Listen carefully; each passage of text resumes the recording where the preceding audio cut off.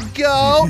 Oh, that's too bad, isn't that, Oh, Pierce? no. Okay, guys, you can go, stop. nowhere Games are go. over. The games are over. We can stop. Ready for a good mud ball? Here they come.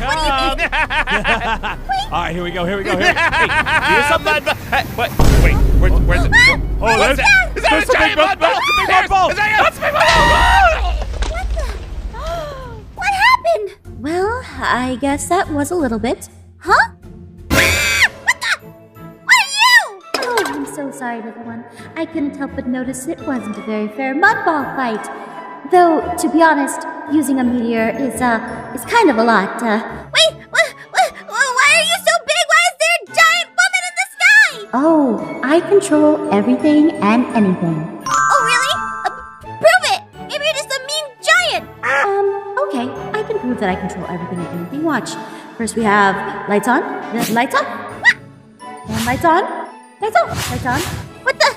Lights on! What did she? What? Why does the sun keep blinking out? Uh, uh, that's really cool. But, um, if you want to know more about me, join me in my realm. Is that like, oh, is that like the online thing?